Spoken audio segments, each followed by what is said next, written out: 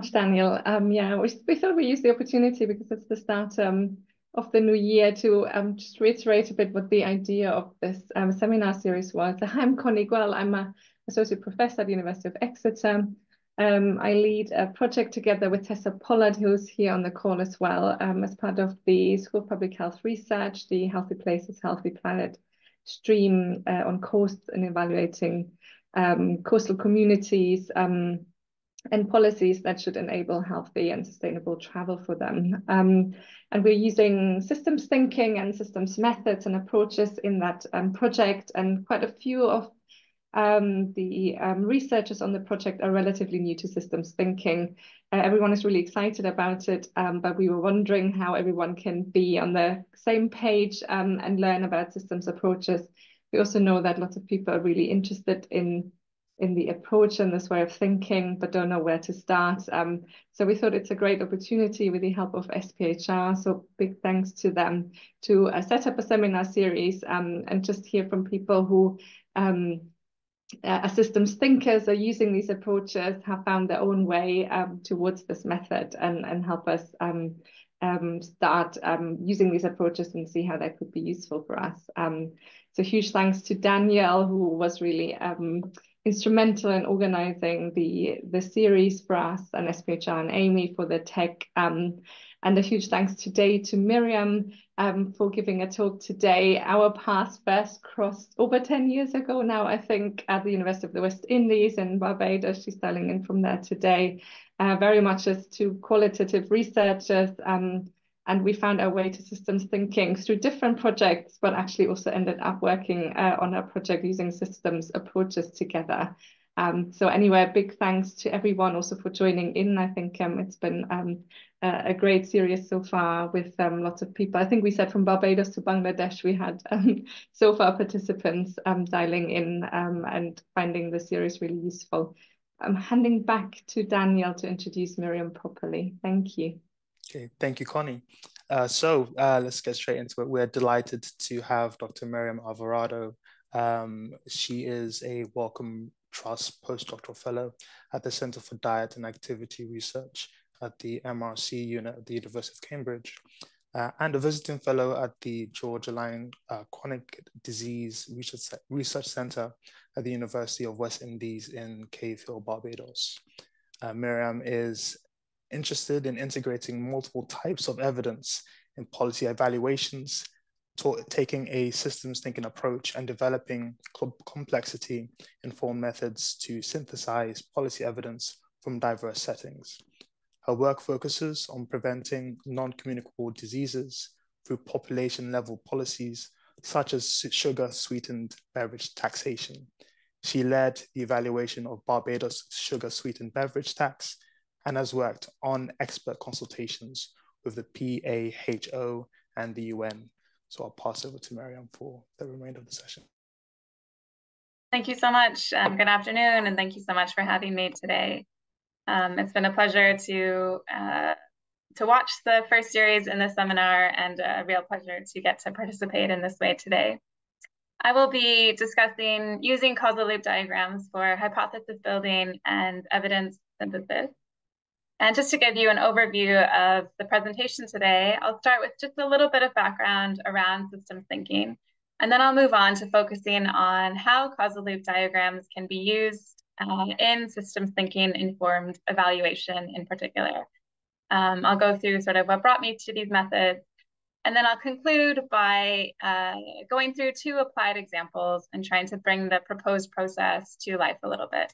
Um, then we'll conclude with some time for a Q&A. So please um, note your questions or comments along the way. I would love to hear from you um, at the end. So let's get started. What is systems thinking? Uh, we've heard a few definitions in this series already, um, but just briefly, I quite like this definition here by David Peters. At its core, systems thinking is an enterprise aimed at seeing how things are connected to each other within some notion of a whole entity. Um, he goes on to suggest that it might be quite useful to dive into some of the theories, tools, and methods that encompass systems thinking to get a better sense of what it really entails. So I'll follow that guidance and share just a few such methods today. Um, the first, causal loop diagrams or CLDs, many of you may be familiar with them. Um, these are represented through standardized notation and can be used to convey causal relationships, um, polarity, delays, and direction of feedback loops. So the feedback loop component of CLDs is really important, and there can be two different types of feedback loops, um, reinforcing feedback loops, um, which tend to amplify an effect, or balancing feedback loops, which on their own tend to lead to oscillation and stabilization around a particular value or level. And then, of course, these feedback loops can be joined up and interact with one another in often surprising or perhaps counterintuitive ways. One thing I wanted to emphasize here is that although they can end up looking quite similar to other types of systems maps, causal loop diagrams are distinct in that they use this um, standardized notation. Um, and they really do emphasize this um, aspect of feedback loops. So I'll come on to this again later in the presentation. A second systems thinking tool are systems archetypes. Um, now, systems archetypes re refer to common patterns that have been observed to occur in many different types of systems, and they've been sort of cataloged and summarized.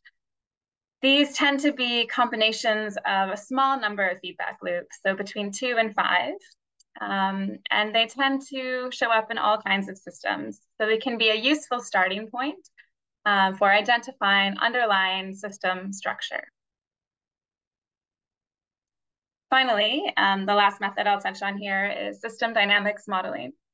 So this is a computer-based simulation approach that again emphasizes feedback loops and now introduces stocks and flows and accumulation over time, um, which enables things like delays and kind of surprising patterns over time to be reflected. Um, these can be used across a range of different types of systems and are quite closely re related to causal loop diagrams. Um, again, I'll come on to this in more detail and provide just the beginning of an example at the end of the presentation. Okay, so turning to the evaluation sort of purpose of today's talk. How can CLDs be developed? Um, this is no way meant to be exhaustive, but uh, at least an indicative uh, menu of options. So there's uh, CLDs that can be based on primary data. Um, many of these include CLDs based on using a group model building process, which involves conversations and eliciting information from a group of stakeholders. This can be either done in person around a whiteboard or chalkboard or online. We've heard an example of that in the presentation last time. Uh, these can also be developed using one-on-one -on -one interviews as another form of primary data collection, or they can be developed based on secondary data collection, so using a review of literature or a review of project documents or a combination thereof. And then how can CLDs be used? Again, this is by no means an exhaustive list, and there are many other possible applications, but I thought I would just highlight a few here today. So first, CLDs uh, can and within public health typically have been used to identify potential leverage points and interventions. In other words, to work perhaps with a group of stakeholders to brainstorm and ideate a group of interventions that might not have been obvious um, at the outset. Second, they can be used in this process of developing systems-informed research questions, perhaps at the outset of an evaluation. Um, they historically actually were initially uh, used to communicate the structure of a system dynamics model. So today we typically maybe develop a CLD and then in some projects use that to inform the development of a computer simulation system dynamics model.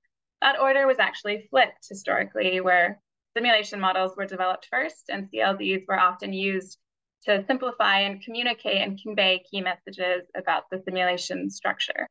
Um, so I just wanted to draw your attention to that as well.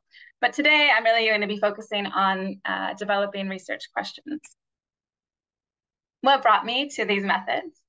Uh, my PhD focused on evaluating a sugar sweetened beverage tax here in Barbados. And when we started off uh, with this evaluation, we used kind of the implicit theory of change that was dominant at the time, which as you can see was quite a linear theory of change. Um, and it was quite helpful in terms of focusing and directing the way that the evaluation was designed. But afterwards, we looked back and wondered, could we have better anticipated and evaluated unexpected consequences and feedback loops if we had started this off from a systems perspective. And what would that have looked like? What would it entail? So it's kind of this question that has led me uh, to the material that you'll see today. We've heard about this in past presentations as well. The most recent um, update to the framework on development and evaluation of complex interventions, in which the authors highlight and I think delineate between these four research perspectives. I found this quite a useful way to identify that in the past, the initial evaluation I summarized really took an effectiveness and theory-based approach. Um, and here we're looking at what a systems approach might add or contribute um, in addition to these other lenses on evaluation. So to dig into this work, um, a group of co-authors and I tried to think through what it would look like to apply that framework to evaluations of sugar-sweetened beverage taxes in particular, so again, you can see these same four research perspectives. Um, this paper is available through BMJ Global Health. Um, and we tried to look through the literature and identify examples of evaluations that had adopted each of these perspectives. And then also consider what the value added of taking a systems perspective in this context might be. In the thinking behind this paper, we came to uh, consider that it might be useful to delineate the process that we use to develop a research question from the methods that we use to evaluate that question. Um, and so I'll show you what I mean here, but we thought it might be useful to distinguish between a traditional quote unquote approach to developing an evaluative research question. Typically in population health interventions, that entails some combination of an effectiveness and theory-based uh, lens in comparison to a systems lens.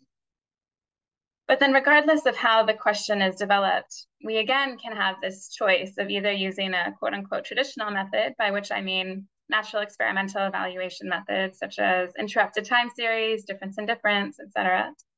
or perhaps the systems method. Um, and I'll come on to this and what this might look like again a little bit later. So there might be different combinations that we can imagine.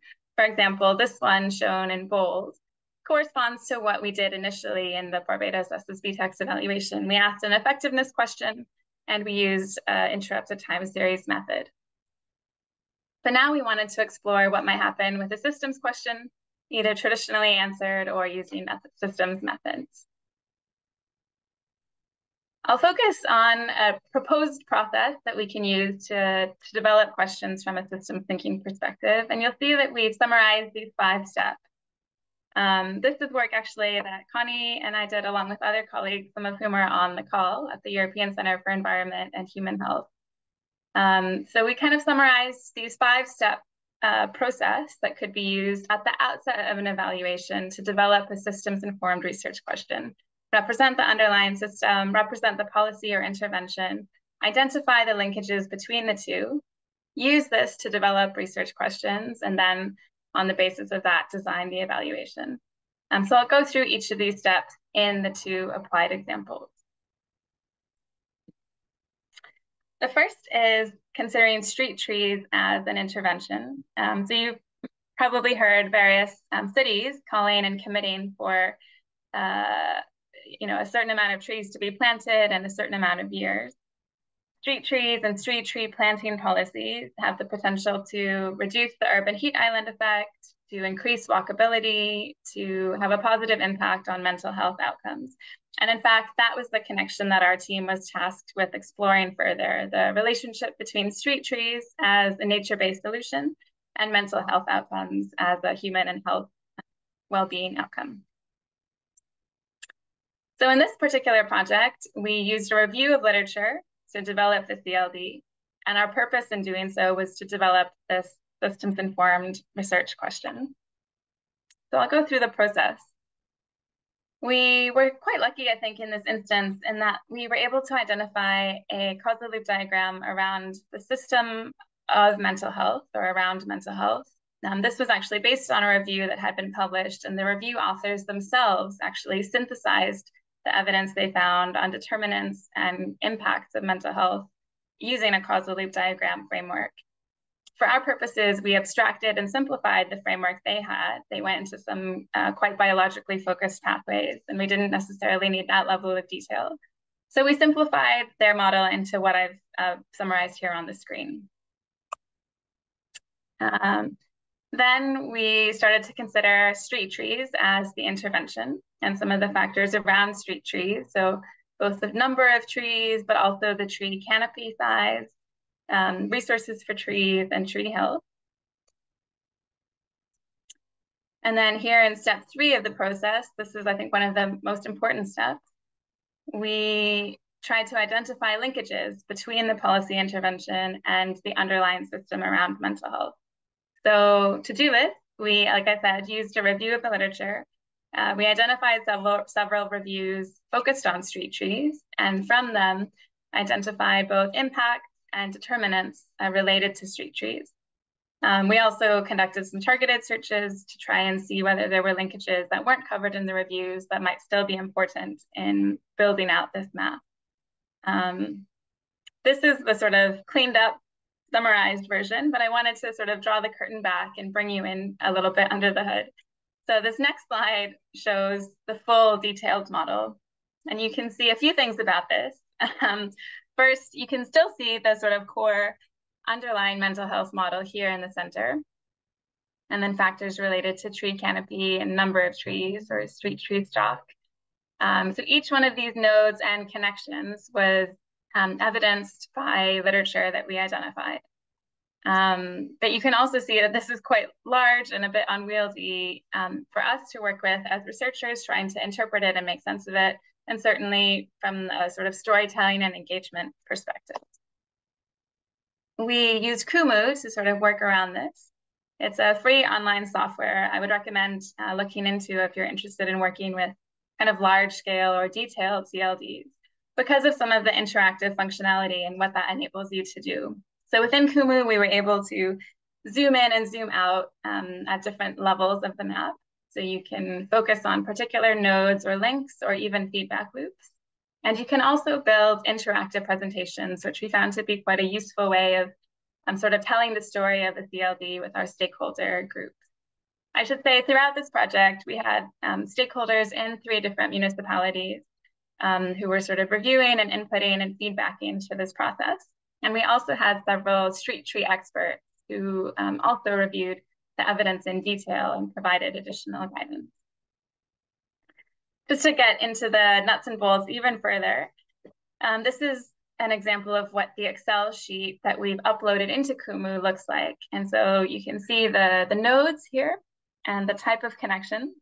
Um, but you can also, I think, importantly see that as much as possible, we tried to capture excerpts that um, evidenced or underpinned each of the connections in that map, as well as the references and type of literature from which they came through. And I think this was an important um, component to both make it clear where we had made assumptions and to kind of encourage a high level of transparency in, in the modeling process.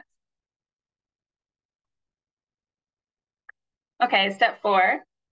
This is where we get into actually analyzing the CLD and developing the evaluative research questions. So I had mentioned systems archetypes at the outset. Um, we use some of the thinking around systems archetypes at this stage. So we did two different things. Um, first, we abstracted from that detailed CLD to kind of the most high level summary that still captured some of the important dynamics. Um, that's what's summarized in this figure. So you can see we've really simplified the mental health system into this one reinforcing loop. Um, incidentally, most of the loops in the underlying mental health system were comprised of reinforcing feedback loops. And that was one of the key findings from the Wittenborn review that we drew from. So that structure of the feedback loop is still maintained here, even though we've simplified it right down to one big reinforcing loop. We also have this reinforcing loop around tree health and then the interconnections between the two. And this might seem quite simple, but the hypothesis that we drew from this is that for street trees to impact mental health, the health of the trees themselves is critical. And this might seem kind of clear now, looking back, but at the time it wasn't necessarily something that was front of mind within our research team. Um, so it was helpful to pull this out, you know, when we're talking about sort of um, maximizing the mental health impact of this intervention, actually perhaps it is the tree health that needs to be um, put to the forefront.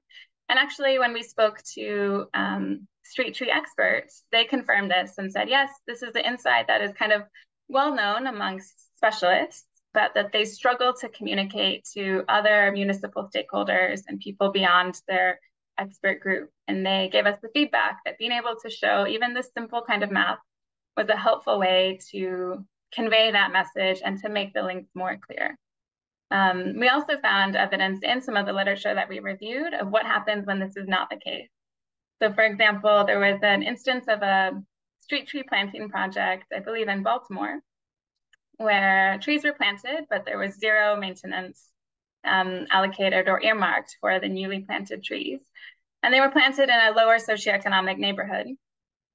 But what happened over time was that the trees um, decayed and died and started to be diseased. And residents actually said that the eroding tree health had a negative impact on their sense of pride, their sense of place, and their, their sense of being kind of forgotten um, by the rest of the city. So it was quite an evocative example of how when this feedback loop works in a negative direction, it really can have uh, ripple effects, even in terms of uh, impacting the people in that community. The second way that we uh, worked on this uh, stage four within the process was by explicitly going to the systems archetypes and exploring whether there were any that could be a useful lens to turn uh, on this topic. So we looked at, again, the success to the successful archetype. Um, so in this archetype, there are two reinforcing loops that are connected. And the idea is that there might be two actors sort of competing in the same space and even a very marginal, like slight advantage at the beginning of this uh, process can give one of the actors an advantage that accumulates over time, while the slight disadvantage can have an increasing, decreasing effect. Um, are increasing decline for the second actor. So that's kind of the snapshot archetype. And we thought that it was a useful thinking tool when it came to understanding some of the processes that might lead to inequities in street tree distribution over time. So in neighborhoods where there were a plethora of street trees, um, particularly mature trees and larger tree canopies and well-maintained trees, residents were more able to, to benefit from these trees, both in terms of home uh, value as well as walkability, the mental health benefits, the greenery, et cetera. And so they would experience the value of those trees and perhaps advocate for them at a higher level. On the flip side, we found evidence actually of the reverse happening. So in places where um, tree tree distribution was lower, but also tree canopy size was smaller, um, people reported not really perceiving many benefits from the trees, and in fact, perceiving some disbenefits with people perhaps vandalizing trees or trees being seen as a bit of a waste of money because they didn't confer any value um, within the neighborhood. This then had a knock on effect where, in places where tree vandalism was high, cities were less likely to invest in trees and more likely to plant small or spindly trees, which were less expensive, and more likely to just reinforce that sort of negative experience of the tree within the neighborhood. When we presented this to one of our uh, stakeholder groups in Denmark, their reaction was actually, wow, this is sort of opened up a new perspective for us on some of the work that we do. So they explained that at the moment they were using a participatory system to allocate uh, new street trees within the city. And this had been seen as a really good thing. Um, citizens were able to vote on where they thought new trees should be planted. And this was perceived as having the benefit of encouraging citizen engagement in the process. But after reviewing this success to the successful archetype, the stakeholder mentioned it might be possible that an unexpected consequence of this system is that we might be encouraging a process that leads to greater street tree inequity. And so this seems like a great opportunity to uh, consider or propose an evaluation that could actually empirically evaluate this using geocoded street tree data and looking at historic voting records. This evaluation is just at this phase. Um, I'm not sure if uh, we will be able to go forward with it, but I wanted to illustrate um, the ways in which this led us to a completely different question than we would have started off with at the beginning of the street tree work. So here you can really see how the systems thinking process and developing the CLD from the literature led us to a different question around this inequity process and the success to the successful hypothesis. But that question could easily be evaluated using um, available data and traditional methods. We, if you're interested in following up on more of the details of this, um, the paper is available. And we summarize a few other hypotheses that we sort of took from the abstracted CLD. Excuse me one moment. Okay, turning to the next example. Um, this focuses on sugar sweetened beverages. Um, once again, but we used a different process. And so I should say this work is ongoing with colleagues um, through the University of the West Indies here in Barbados. Um, so it's a little bit of a sneak peek. Some of the results are still in flux and may change. Um, so please bear that in mind. So for this uh, project, we used a group model building process with stakeholders, and it kind of embedded this within a larger community-based system dynamics project. Um, I didn't prepare slides on community-based system dynamics, but I'm happy to come on to it in the Q&A um, if anyone wants to pick, on, pick up on that. And again, our purpose in developing the CLD was to develop an evaluative research question. This is a snapshot of our stakeholder group. So we had about 20 stakeholders um, for a back-to-back two-day introductory session. Um, you know, within this room, we have people from government, from civil society organizations, from education, academia, industry, um, and the media. So really a lot of different perspectives on the same issue. Uh, to focus the discussion, we started off with this graph. Um, within systems thinking, this type of graph is often referred to as a reference mode um, which means a graph over time of a key variable, which can be used to sort of focus the discussion or to help make decisions around the boundary of the system. So this reference mode or graph over time was focused on sugar sweetened beverage consumption um, per person per day from 1990 on to 2018. And you can see the levels for um, children and adults in Barbados in comparison to children and adults worldwide. So we use this graph to ask participants in the room questions about what are the factors that have caused both the level and trend um, in these values? And then on the other hand, what are the consequences of these levels and trends? And from that discussion, we began to fill out this causal loop diagram, this step one of representing the underlying system. So you can see uh, nodes related to the production of SSBs and the profits related to that production up here, and the nodes related to health, um, as well as government and civil society actions down here. I should say, in case uh, it wasn't clear, this um, double hash mark refers to a delay, so a relationship that we hypothesize is causal, but that happens over a longer time period than some of the other relationships. Um, so this kind of delay mark will become important later on. So here's kind of a, an action shot of the process. You can see that it was very deliberative and involved a lot of listening, conversation, um, interactive drawing. So it was quite an engaging, quite an exhaustive, uh, but I think also team building process. Um, and quite different from my experience and our experience of building a CLD based on the literature I described previously.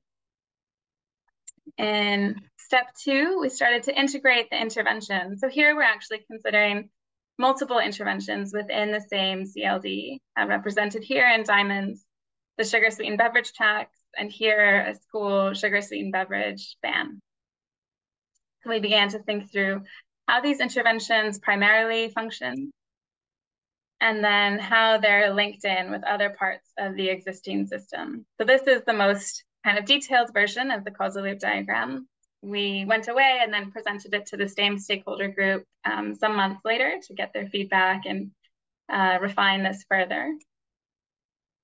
And then we really worked with them to try and identify if this is our baseline understanding, what are some of the things that we could evaluate using this as a springboard? So again, we went in two different directions with this, and I'll summarize both of them for you. Um, the first was to think about how we could use this to inform more of an impact evaluation. And we came up, this is still very much in flux, but in general, we plan to ask something such as, to what extent did SSB sales change following the introduction of both policies? And to what extent did SSB advertising intensity change over the same period? So this is related to the first question I shared with you, but somewhat different because now we're considering two interventions together and we're also considering not just the intended impact, the change in SSB sales, but also one of the unintended impacts that we can now anticipate looking at this diagram, the potential reaction from manufacturers um, in an effort to recapture potentially lost sales through increased advertising. Now we're kind of explicitly anticipating um, this feedback loop.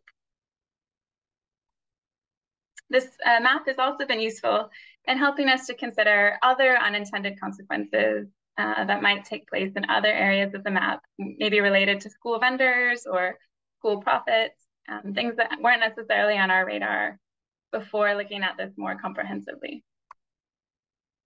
So this is an example, uh, as we saw before, of using systems thinking in a CLD to inform a question that we might then go on to address using, again, an interrupted time series natural experimental evaluation method.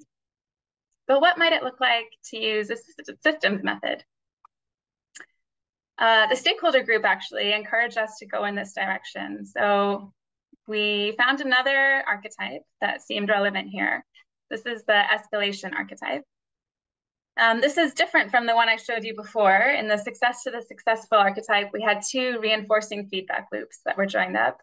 Here we actually have two balancing loops. And again, you could imagine two actors kind of competing a bit and the actions of one are perceived as a threat to the other, who then takes a certain action, which is perceived as a threat. And so you can see how, in this case, um, actions kind of escalate in both directions, although they're pulling in different and sort of opposite directions. So we thought there's something useful here, although we have to make some changes and modifications um, to build on this archetype and modify it to fit the scenario that we're discussing. But you can see here broadly the idea of kind of profit maximizing sector versus uh, the delay here in the link between SSBs and health outcomes, um, but sort of the incentive to minimize the development of further NCDs. So leading to kind of opposite goals in, in this sense. But again, this delay I think is really important because it highlights uh, that these are happening on different timescales and that might become important later on. So we, uh, to summarize this process, are trying to use this detailed causal loop diagram as the basis for a more abstracted uh, CLD based on systems archetypes, but modified to the context. And then using this as uh, the basis or foundation for the structure of a computer simulation system dynamics model. So, so far this has been built in Vensim and it's still very much uh, being refined as we speak. But again, just to pull the curtain back a little bit, behind every variable or arrow in that Vensim model, um, you can see that there's an equation and quite a detailed listing of um, either the parameters and numbers or assumptions or relationships underpinning um, the decisions and choices for those equations and those variables. And this is a really important part of the documentation around system dynamics modeling. Um, and then we're framing this as kind of a toy or sandbox system dynamics model in comparison to a much more detailed and comprehensive research model. Um, this is just to show you the kind of results that one might get from something like this. Uh, and for example, a insight one could derive from these graphs is even though government regulation might be increasing during a certain period, um, given the feedback loops and delays that are embedded in the structure of a system, we might not see a decline in SSBs right away. And in fact, it might take some time until that decline, driven by regulation, becomes apparent. So this can be kind of a useful way of um, forefronting conversations about expectations between different sectors and identifying why there might be resistance within a system to a policy um, or to a well-intentioned intervention. This is more on the communication side of system dynamics, but we intend to use the isee iThink simulator, um, which is the online simulator in which you can translate results from a system dynamics model into something that stakeholders can actually toggle and simulate on their own to input different assumptions or test different parameters or explore different scenarios. Um, so we have yet to kind of dig into this more, but I think it's an exciting way that we'll be able to both understand the model better ourselves, but also engage our stakeholder group and collectively deriving insights and ideas uh, on the basis of this model. So again, I think this is still uh, not uncharted territory, but an area within population health research where a lot more work can be done and um, where we're still kind of in an explorative phase. Um, but I think it could be quite exciting to see um, what the value added of taking this approach might be, and also how it could feed back into conversations with stakeholders and the broader policymaking process. One thing I can reflect on is that uh, within the group of stakeholders thus far, we've had people sort of spontaneously comment about how their thinking is um, starting to mirror some of the thinking in systems, language and mental models. Um, so I think maybe one of the quite powerful outcomes of this approach is the change both in our mindsets as the research team, but also in the stakeholder uh, mindset. Um, and so that's something we're sort of interested to explore further, and that seems quite promising. I'll just conclude in my final minutes here by highlighting that uh, I think this is an area where there is a lot of innovation happening and a lot of these sort of frameworks and proposed processes being put forward. Um, for example, there's the Compass framework, was published a couple of years ago. Um, Leandro Garcia put forward this action-oriented framework um, from 2021. And both of these frameworks, I think I would definitely um, point people towards. They do seem to involve um, intervention context in which the evaluation team has some role in co-envisioning or co-developing the program, and the program might be adapting to the evaluation as well. Um, we found ourselves in a slightly different position with both interventions, where these were kind of large scale predetermined interventions in which we didn't um, impact their design or rollout. And so because of that, I think it was appropriate for us to consider a slightly different process for developing these evaluation research questions. Uh, we heard from Elizabeth McGill in the first session of these series, but I found this framework hugely helpful as well. And I would say it really parallels the process we describe here, where I think we kind of end up, uh, the process that I described today kind of concludes in steps one and two of, of phase two within this framework. You can see some of the parallels um, there as well. Many thanks. This work has spanned a multitude of teams, um, both here in Barbados, the SSB, and the evaluation team, as stakeholders on the Regreen and Reconnect projects at the University of Exeter, the population health interventions team at the MRC epidemiology unit, um, and through it all, I've really benefited from supervision from Jean Adams and Martin White, as well as mentorship from uh, folks at the System Dynamics Society. Um, thanks as well to my funders. And it would be wonderful to uh, conclude here and see if you have any questions or further further comments. Thank you. Okay, fantastic stuff, uh, Miriam. Now you can see uh, applause coming in virtually already. So um, thank you for that uh, excellent session, uh, for that excellent talk. Um, so perhaps I can get things rolling with an initial question. Then, of course, if anyone has any questions from the from the group, please, uh, either if you want to come off mute or write it in the chat, uh, your questions are very welcome. So an initial question from me. Um, I, I, think from the first uh, webinar we had uh, with Matt and Elizabeth, I think one of the points that was made is when thinking using systems thinking approaches, we can get to the end. And one of the sort of comments that could be made is it's all just very complex and that being a wall in our sort of systems thinking. Um, but what I picked up from what you presented today is a lot of your outputs were very much a point from which your stakeholders could say, oh, that makes sense. That reflects what I'm thinking.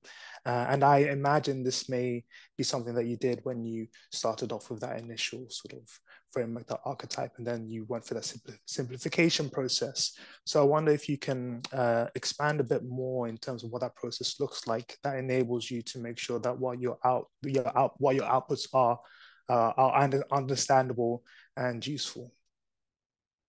Sure, definitely. Um, Yes, I think there's a part in the process where it can feel quite paralyzing. You know, you put in all this work to develop something very detailed, and then it's hard to know where to go from that. And I think that can be a major stumbling block for a lot of people engaging in this type of work.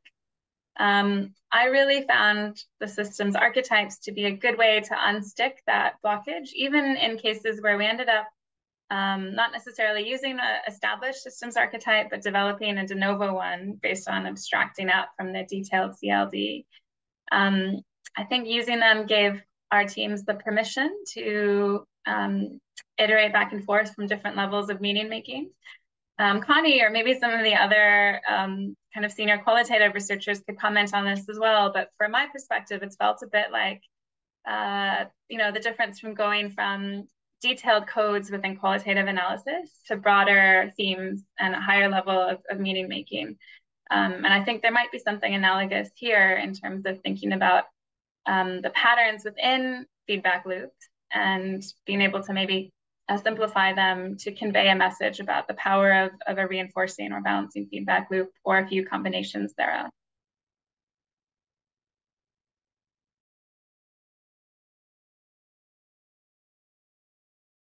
Add in some thoughts on that. Uh, yeah, Connie. I was going to, I can't put it as eloquently as Miriam, so I won't add to that, but I had actually a qualitative question for you.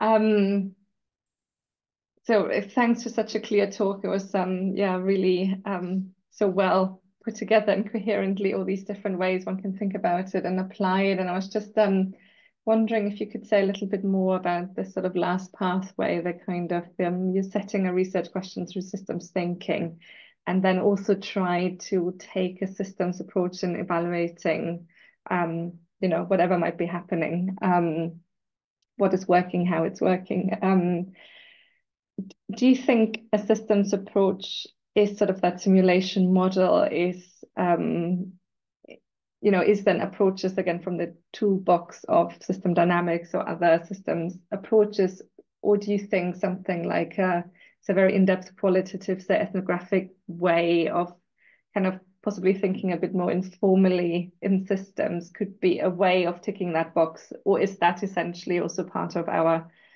I guess maybe now a natural experimental evaluation toolkit and, and probably is more the top right hand corner of evaluation. So yeah, I was just wondering how we can fill that um, top right, uh, bottom right corner with systems evaluation methods. Sure. Yeah, I would just um, start by qualifying my comment uh, in that I think my thinking around this is still evolving and changing quite a bit and quite rapidly, but I can reflect on where I'm at with it now. Um, I think the first thing to say is that uh, as we're going forward with the system dynamics model as a systems method to address the sort of questions that emerge from the CLD, um, it is making us pause and reflect on, is this even still an evaluation or is this feeding into a different stage of the evaluation? My background is really on impact evaluations. That's what, what feels the most familiar to me. Um, whereas this is maybe the system dynamics models may be feeding into the predictive phase of an evaluation. Um, Elizabeth McGill has a nice paper that sort of summarizes systems methods and stages of evaluation. Um, so that's a bit of what I've been thinking about.